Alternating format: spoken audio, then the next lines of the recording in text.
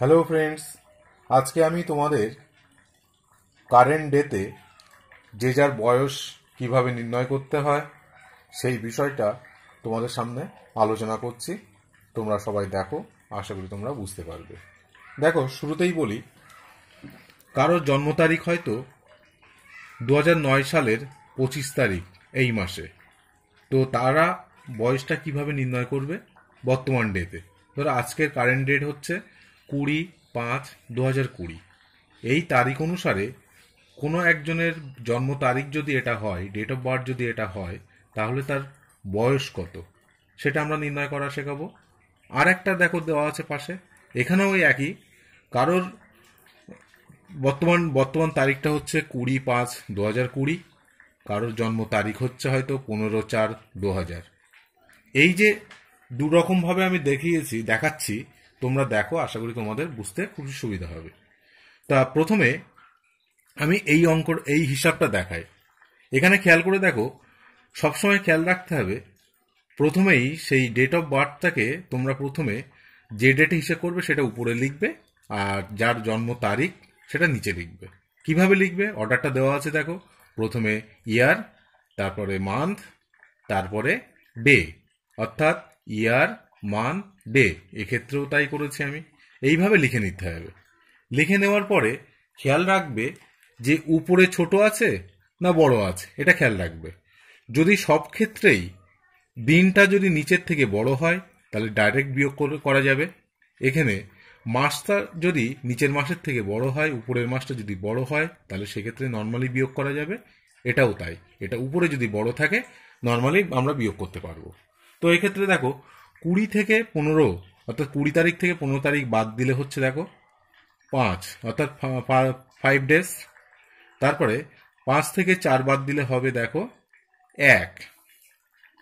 আর একটা দেখো দু হাজার কুড়ি থেকে দু হাজার বাদ দিলে অবশ্যই হবে কত? কুড়ি। অর্থাৎ কারোর যদি জন্ম তারিখ, অর্থাৎ ডেট অফ বার্থ যদি এটা হয়, তাহলে আজকের দিনে আজকের দিনে তার বয়স হচ্ছে কুড়ি বছর, এক মাস পাঁচ দিন।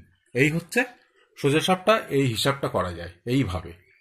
আর একটা দেখো, যেটা জটিল, যেটা সবারই ম্যাক্সিমাম ক্ষেত্রে এই- এই সমস্যাটাই আসে, এই সমস্যাটা দেখতে হবে মন দিয়ে, তাহলে তোমরা অনেকেই বুঝতে পারবে। এবার এক্ষেত্রে দেখো, উপরে ছোট হয়ে গেছে, নিচে বড়। উপরে ছোট, নিচে বড়। যদি এই রকম কেস আসে, তাহলে তোমরা কীভাবে বিয়োগ করবে? এই বিয়োগটা করতে গেলে সবসময় খেয়াল রাখতে হবে, এই পদ্ধতিটা কিন্তু খুবই ইম্পর্টেন্ট তোমাদের প্রত্যেকেরই মনে রাখতে হবে। তা প্রথমেই, যেহেতু কুড়ি কুড়ি দিন থেকে পঁচিশ দিন আমরা বিয়োগ করতে পারি না, তাই কুড়ি দিনটা কেটে দেবে। দিয়ে, এইবার কুড়ি দিন থেকে তো পঁচিশ দিন বিয়োগ করতে পারছি না, তাহলে মাস থেকে, এই যে মাসের ঘর থেকে এক মাস ধার নেবে, এখানে ধার নেওয়া পদ্ধতি। কীভাবে করব আমরা তাহলে? এই এক মাস থেকে এখানে আছে কত? পাঁচ মাস।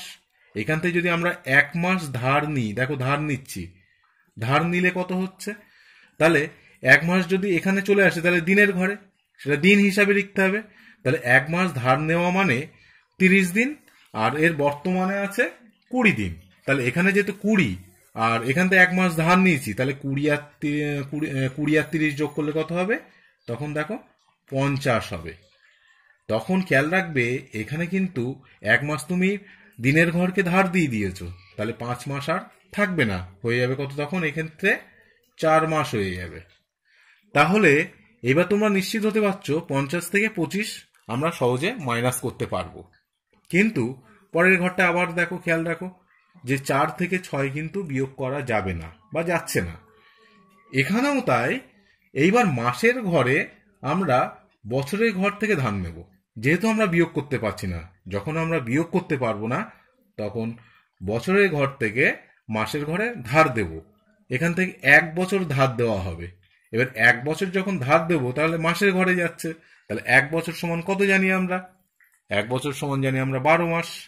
তাহলে বারো মাস এর সঙ্গে তখন অ্যাড হয়ে যাবে। তাহলে বারো আর চার মাস মিলে কত হচ্ছে?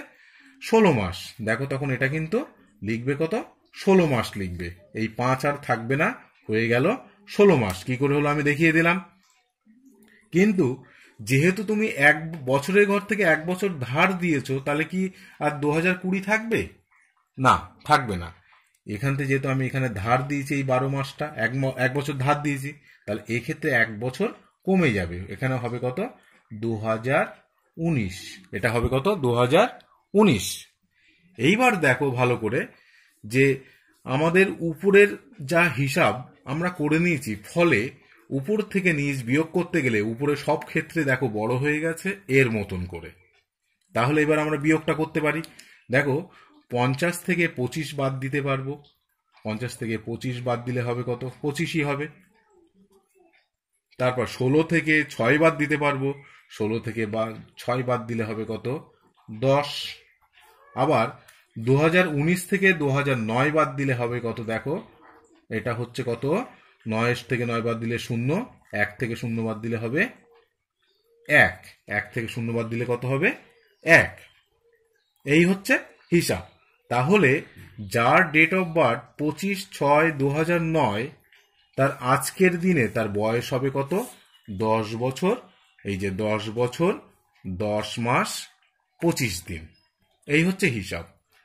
আবার একবার রিপিট করি।